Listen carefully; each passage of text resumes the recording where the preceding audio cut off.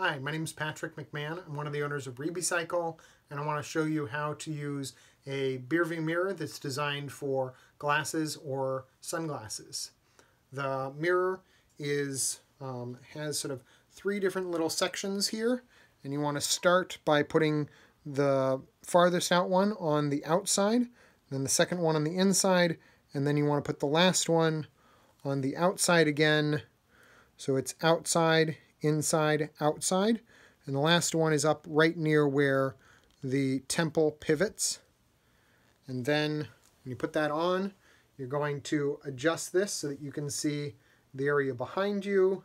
And you're going to rotate and pivot this so you can see just a little bit of your ear and or hair in the mirror.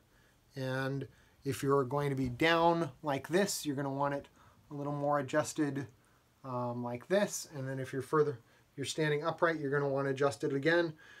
The main important thing is getting it to a position that works well for you. So feel free to bend and twist the mirror. You can bend it further out if you need to, and then just rotate it more like that. Because if you've got sort of something behind you or big hair or something like that, and you can get in touch with me if you have any questions. Um, the email is rebcycle, R E B C Y C L E, at gmail.com. It's also at rebcycle on Facebook, Twitter, and Pinterest. And then it's at Beer View Mirrors on Instagram. Thank you very much. Have a good day. Happy riding.